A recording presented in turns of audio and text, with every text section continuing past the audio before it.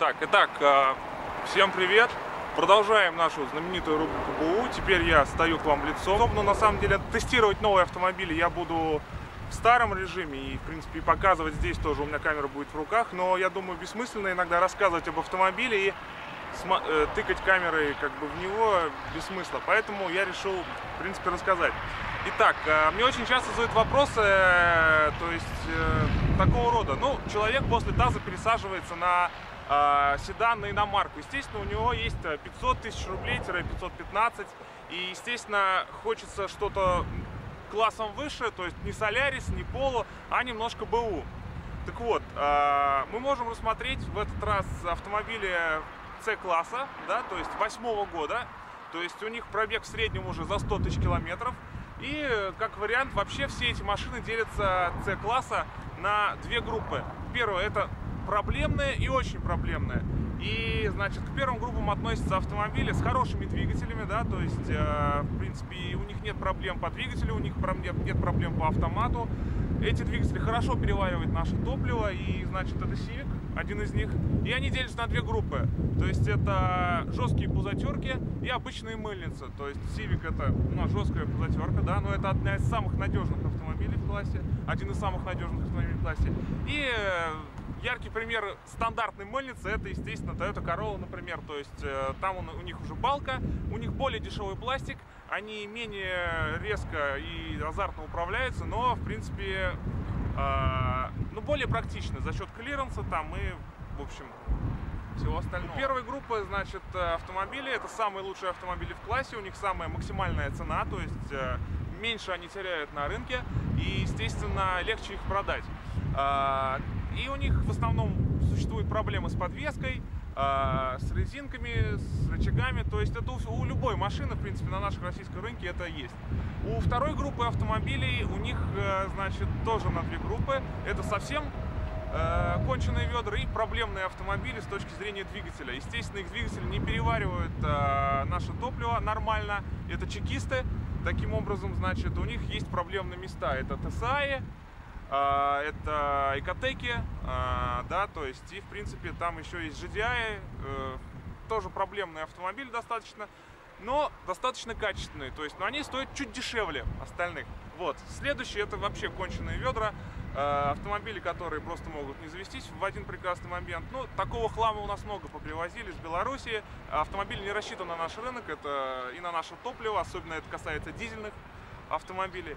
Так вот, значит, э, сегодня я расскажу про самый оптимальный вариант. Это Honda Civic восьмого года. Цена на такой автомобиль примерно валируется там от 450 э, до 590-600. Все зависит от комплектации. Один единственный двигатель у нас э, представлен для этого автомобиля на рынке в основном. Это автековский 1.8, 140 лошадиных сил. В принципе, ну, машина, если так на нее посмотреть, выглядит очень шикарно, динамично. Даже если сравнить, например, с другим, э, с новым поколением, силуэт остался тот же. Внешний автомобиль действительно очень современно выглядит, он актуален на данный момент, несмотря на то, что автомобиль шел, в принципе, у нас с шестого года, то есть с шестого-седьмого года это японская сборка, уже с восьмого пошла э, турецкая сборка. Ну, визуально э, прекрасно видно, что это достаточно низкий автомобиль. У него такой массивный передний свес и, в принципе, видно, что низкая посадка, да, то есть это из минусов. А, такие характерные у нас зеркала с повторителями поворотников уже, то есть у нас на стойках выносных. А так смотрится машина очень актуально, особенно в черном цвете. Этот у нас автомобиль конкретно 1.8 на автомате. Вот. А, хэтчбеки были, но мне внешне они вообще не нравятся, абсолютно. Какие-то они такие очень странный у них дизайн.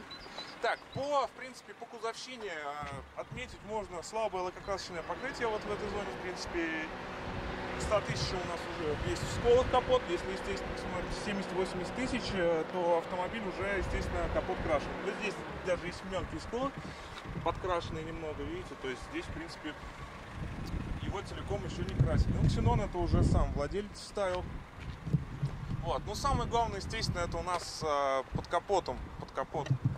Погода часто меняется, то жарко, то холодно, так что давайте, значит... Итак, значит, про двигатель.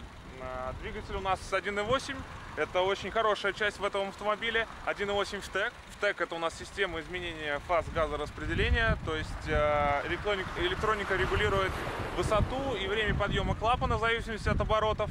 А, кроме того, у нас э, установлен э, впускной э, ресивер переменной длины, то есть на низких оборотах у нас воздух идет по длинным патрубкам, на высоких по коротким, потому что как бы колебания на низких оборотах более длинные, вот, и они по длинным, а на высоких колебания короткие, и поэтому трубки идут по короткому пути.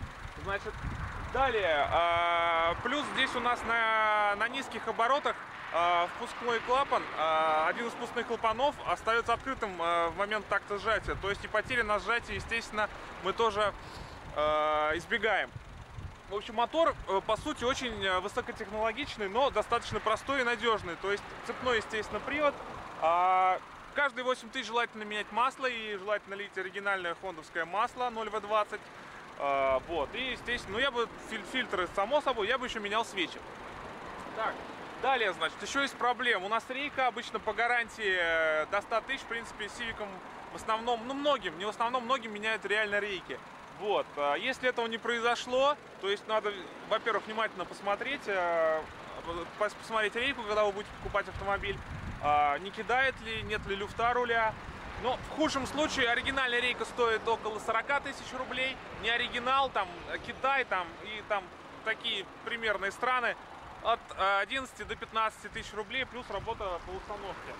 А, Потом еще проблема верхняя левая опора, в принципе, тоже может глючить. Опорники, но опорники лучше менять вместе со стойками. Стойки недорогие, могу порекомендовать, например, поставить Каяб. По 2000 за штуку, очень хорошо держат. А, так, в принципе, это основные такие проблемы, которые могут часто встретиться. А так, в принципе, а, коробки очень надежные, автомат а, пятиступенчатый, на роботы идут на хэтчбеках и механика тоже. Но там длинные передачи, все-таки автомат. Сочетание вот мотора и автомата, вот сейчас мы проверим, а, очень такие поразительные. То есть хорошо настроен. Автомат с коробкой замечательно себя ведут.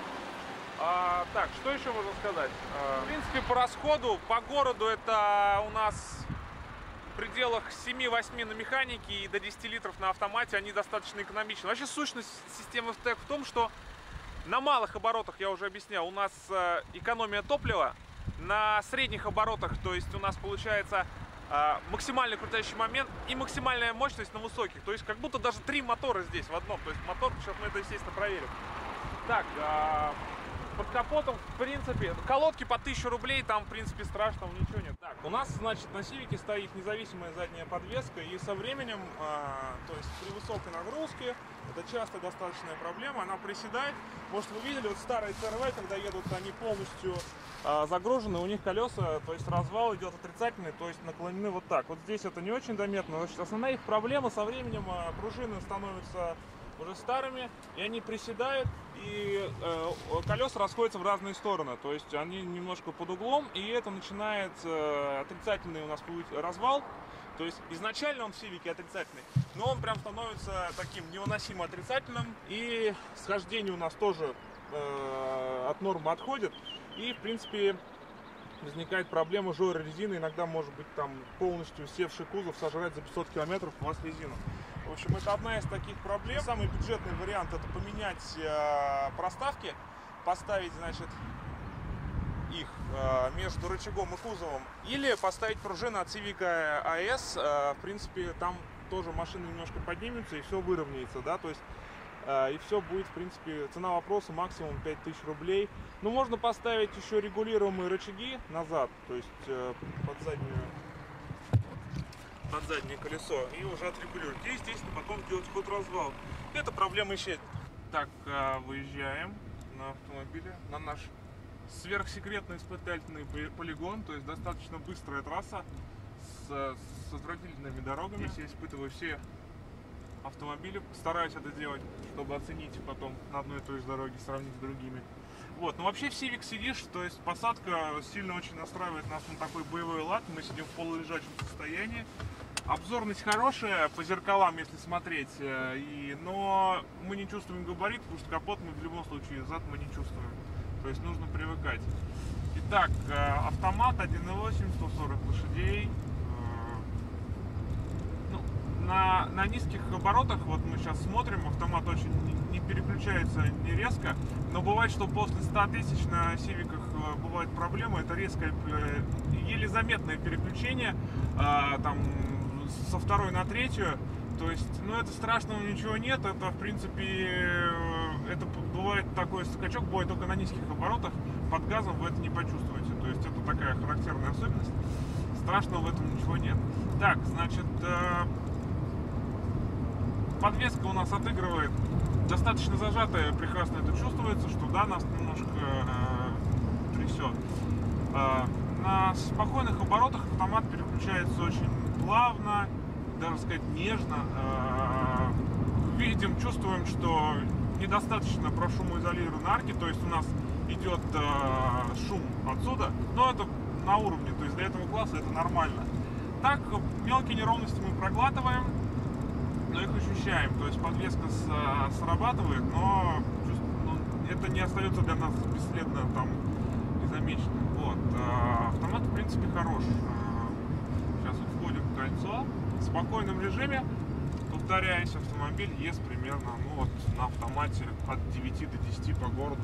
Это спокойно. Ну, не в такой, но чуть побыстрее. Так, поворотная, в принципе, беспроблемный автомобиль, независимая подвеска держит очень хорошо. Мы чувствуем, как сейчас задница нас так хорошо держит. И вот плавное ускорение. Авто... У нас у автомата есть несколько режимов. Спор... Э, обычный, спортивный и спортивный чуть дольше держит передачу, то есть он крутит, э, в принципе, мотор выше. Но, опять же, прямая, автомобиль очень чет, четко держит дорогу, мы чувствуем рулем, мы можем контролировать автомобиль. А, скорость практически не чувствуется. 100, 100 км в час.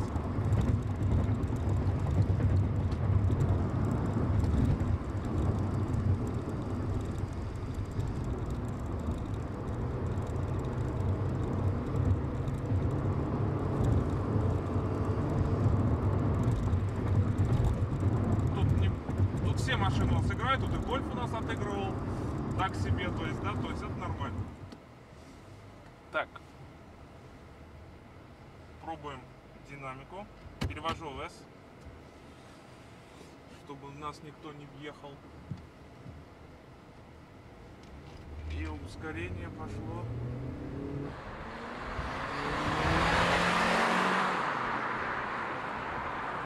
Вот, 7000 4, 5, 5200 фаза меняется. Переключение очень хорошо едет автомобиль. Для автомата, для 1.8 это очень хороший показатель. Очень четкая управляемость.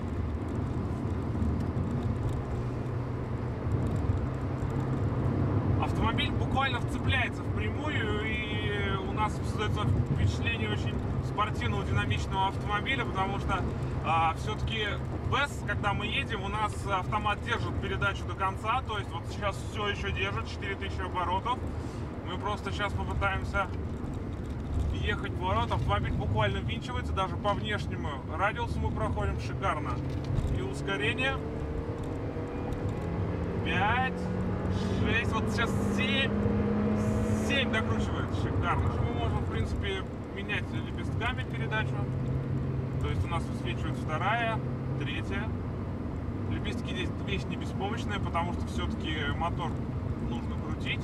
И вручную он работает достаточно хорошо.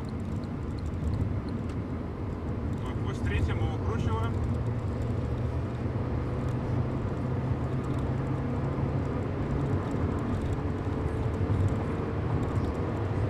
Педаль очень напольная, очень опять же разогнались, держит 4000 оборотов в боевом режиме, то есть моментальное ускорение у нас сейчас может произойти. По движению к повороту опять же автомат все еще держит эту передачу. Тут мы можем чуть понизить до второй.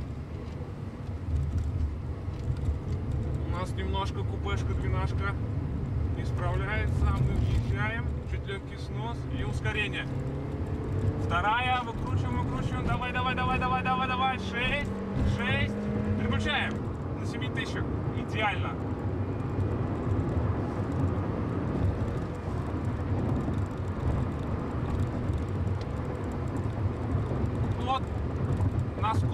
120. Дальше я скорость не буду говорить.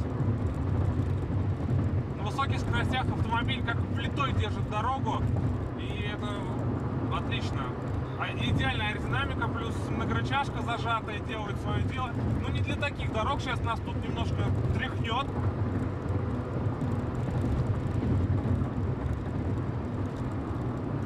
Ну такой бюджетный драйверс-кар, то есть э, идеально управляемость. И разгон. Сочетание просто идеальное.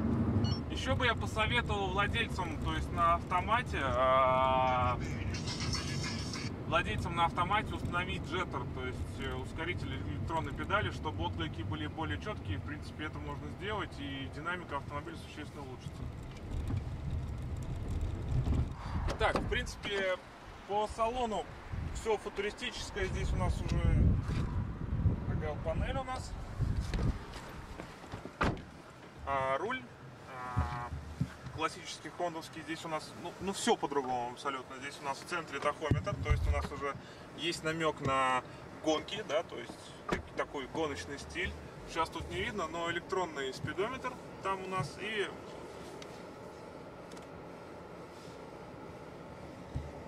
так как получше дворники в разные стороны. Все кубиками, есть температура у нас кубиками и э, уровень топливного бака. Топливный бак, кстати, так странно сделан. А, в начале а, они быстро исчезают, кубики. То есть, как э, в обычно в машине первое деление исчезает медленно, а здесь исчезает быстро. А потом в конце они более медленно исчезают. Как-то по-странному это все бывает. Это у нас одна из самых максимальных комплектаций. Здесь 4 стеклоподъемника, регулировка зеркал. Вот. А, регулировка, блокировка дверей. Так, значит, а, воздухозабо...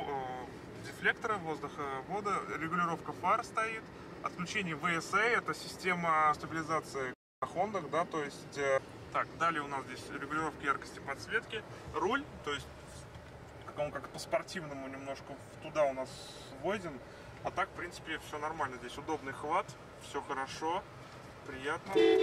Гудок. Очень, очень сильный гудок здесь стоит. Ты, наверное, поменял здесь, да, эти плафон? А, нестандартная панель, уже говорил. В принципе, очень четкий руль, мне он очень понравился. А, дефлекторы. А, дальше что у нас? Магнитола. Здесь можно улучшить качество звучания магнитола. Я думаю, немногие владельцы сивиков это знают, хотя может и многие. Итак, на, включ... на, выключенной магнитоле зажимаем кнопки 4 и 6, а потом ее включаем. То есть у нас надпись DIG загорается. Так, далее отпускаем, нажимаем 4, вот, и выключаем магнитолу. А потом э, все включаем еще раз. Так, сейчас она у нас и качество магнитола намного э, лучше и четче играет. Не знаю, с чем это связано, но вот есть такая фишка на этих магнитолах.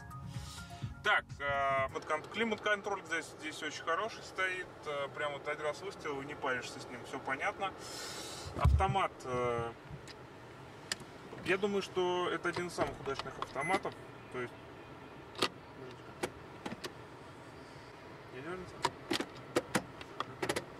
То есть ПРНД, S у нас идет э, вниз, а лепестки у нас именно переключаются, то есть руля плюс справа, слева минус.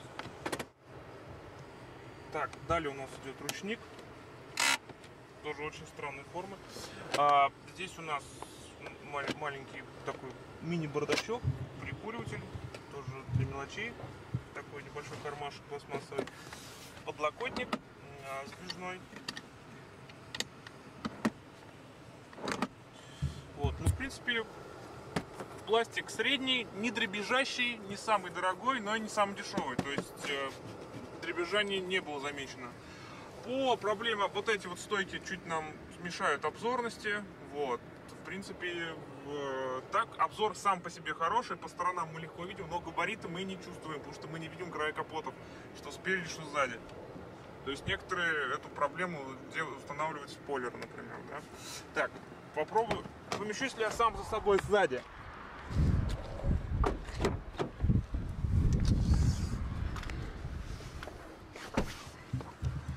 Так, упираюсь, ну потому что сильно у меня сиденье откинуто, но немножко упираюсь. То есть место вот, видите, да, примерно, чуть поменьше. Сзади, в принципе, у нас тут тоже есть э, подлокотник, стеклоподъемники для задних пассажиров. Так, в принципе, места над головой достаточно.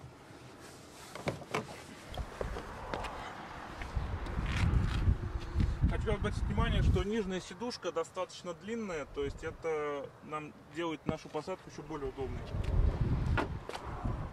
Так, багажник у нас. То есть багажник не самое большое достоинство этого автомобиля, то есть он не очень глубокий. Здесь у нас такая ниша дополнительная, полноразмерная запаска инструмента. Сиденье, естественно, откидываются назад. Сюда. А, ну да. А как, все что ли?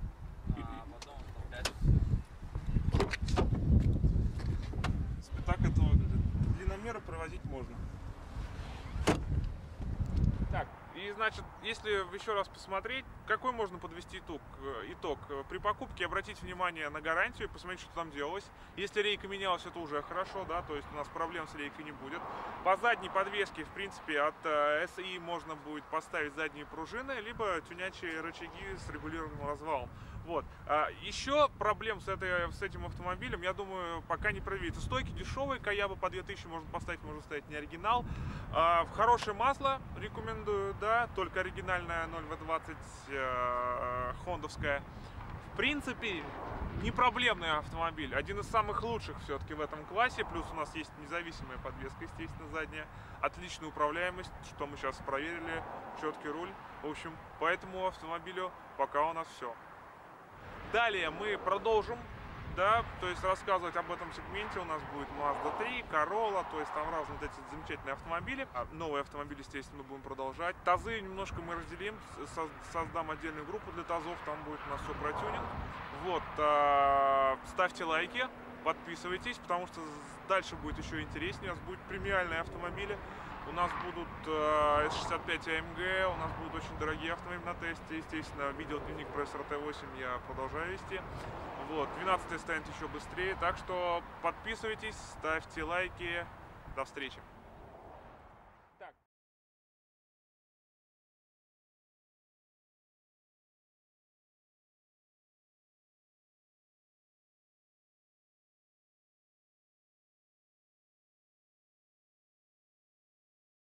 Так, итак, э, всем привет!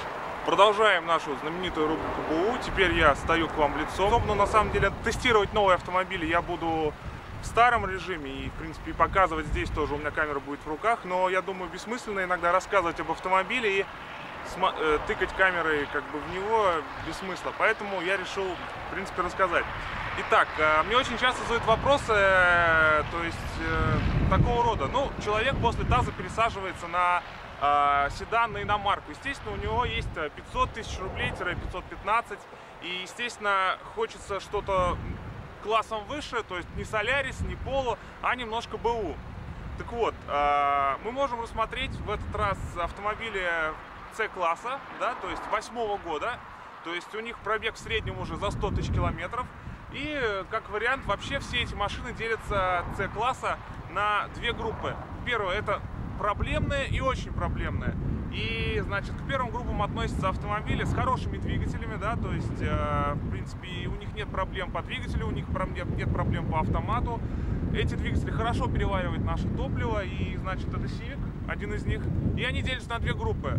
То есть, это жесткие пузатерки и обычные мыльницы. То есть, Civic это ну, жесткая пузатерка, да, но это одна из самых надежных автомобилей в классе, один из самых надежных автомобилей в классе.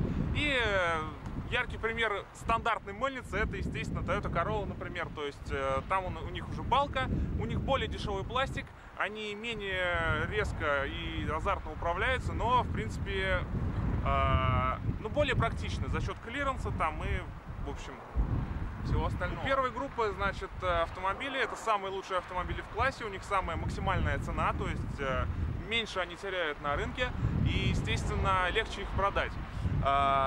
А, и у них в основном существуют проблемы с подвеской, а, с резинками, с рычагами. То есть это у, любой машины, в принципе, на нашем российском рынке это есть.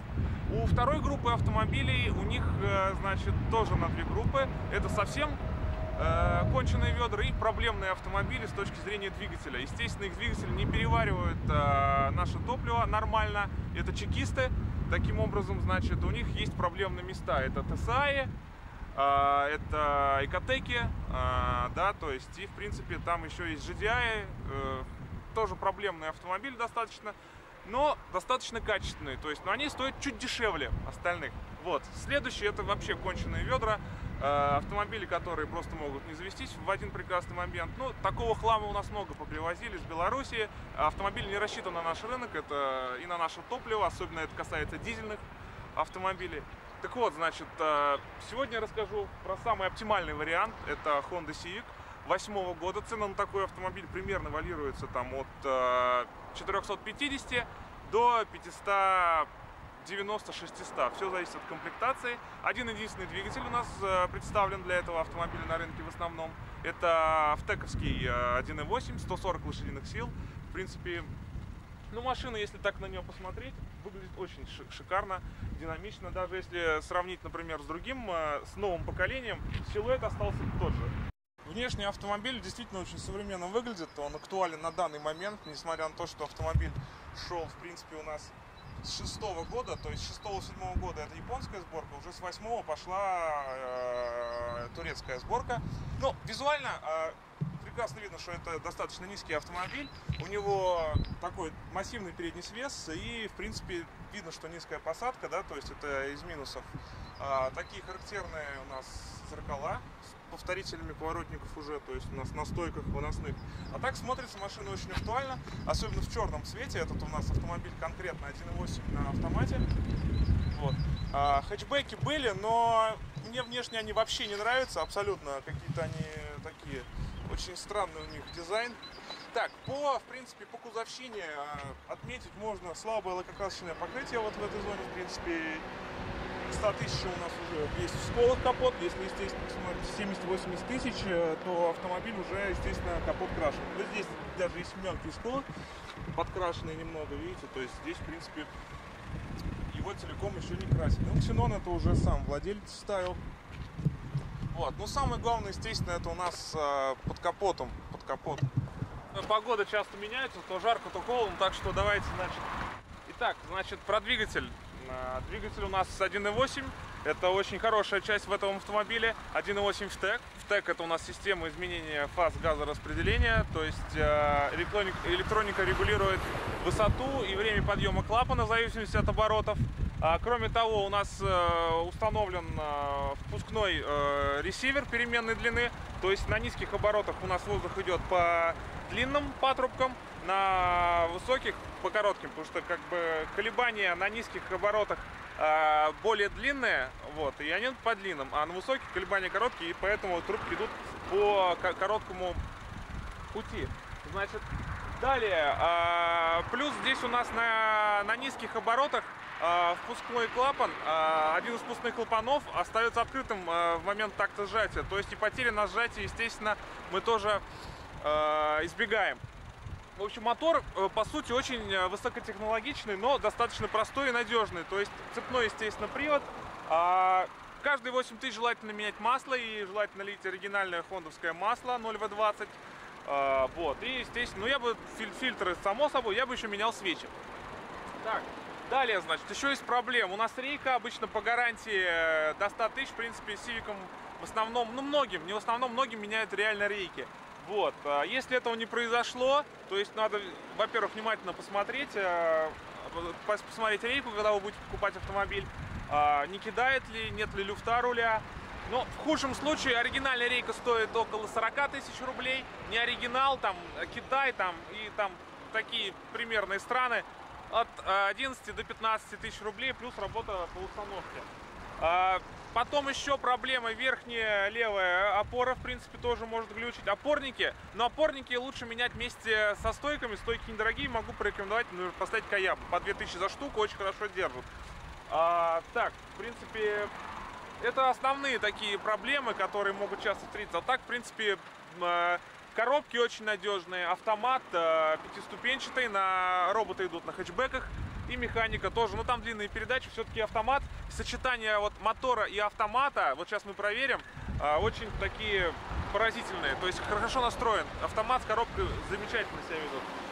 А, так, что еще можно сказать? А, в принципе, по расходу, по городу это у нас пределах 7-8 на механике и до 10 литров на автомате, они достаточно экономичны. Вообще сущность системы FTEC в том, что на малых оборотах, я уже объяснял, у нас э, экономия топлива, на средних оборотах, то есть у нас получается э, максимальный крутящий момент и максимальная мощность на высоких. То есть как будто даже три мотора здесь в одном. То есть мотор, сейчас мы это, естественно, проверим.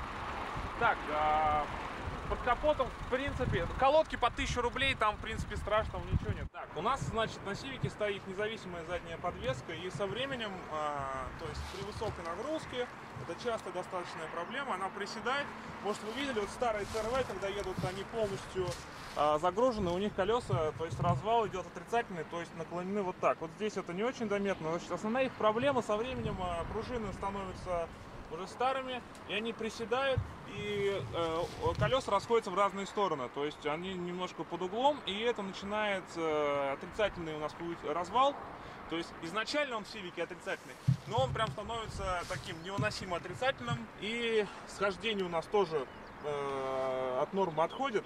И, в принципе, возникает проблема жора резины. Иногда может быть там полностью севший кузов сожрать за 500 километров у вас резину. В общем, это одна из таких проблем. Самый бюджетный вариант это поменять э, проставки, поставить, значит, их э, между рычагом и кузовом. Или поставить пружины от Civic AS. Э, в принципе, там тоже машины немножко поднимется и все выровняется, да, то есть э, и все будет, в принципе, цена вопроса максимум 5000 рублей. Ну, можно поставить еще регулируемые рычаги назад, то есть э, под заднюю под заднее колесо и уже отрегулировать. И, естественно, потом делать ход развал. Это проблема исчезнет. Так, а, выезжаем на автомобиле, на наш сверхсекретный испытательный полигон, то есть достаточно быстрая трасса с, с отвратительными дорогами. Здесь я испытываю все автомобили, стараюсь это делать, чтобы оценить потом на одной и той же дороге, сравнить с другими. Вот, ну вообще в Civic сидишь, то есть посадка сильно очень настраивает нас на такой боевой лад, мы сидим в полулежачем состоянии, Обзорность хорошая по зеркалам, если смотреть, э, и, но мы не чувствуем габарит, потому что капот мы в любом случае, зад мы не чувствуем. То есть нужно привыкать.